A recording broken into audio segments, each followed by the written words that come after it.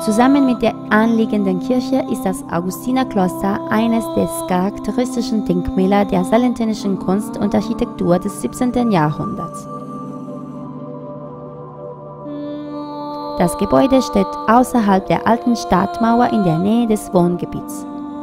Es wurde 1638 vom berühmten Werkmeister Francesco Manuli aus Corigliano d'Otranto gebaut.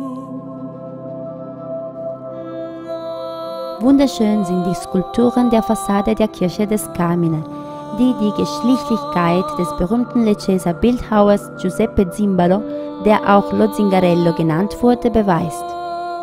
Geometrische Gestalten und Blumenmotiven mischen sich miteinander und werden von einem intensiven Barockdynamismus im Schwung gebracht.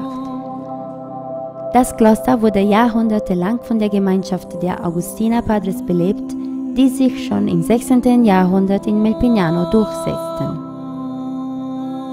Das Augustinerkloster war eines der wichtigsten Apuliens und für die Erziehung des Jugendlichen und für die Latinisierung und Romanisierung des Glaubens sehr aktiv.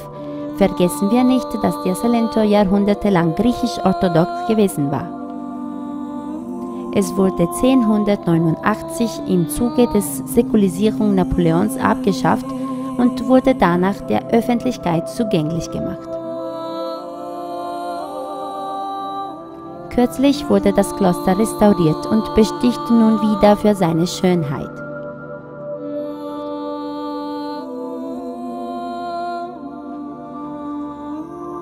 Jedes Jahr findet Ende August auf dem offenen Gelände vor dem Kloster das berühmte Open Air Festival Notte della Taranta statt.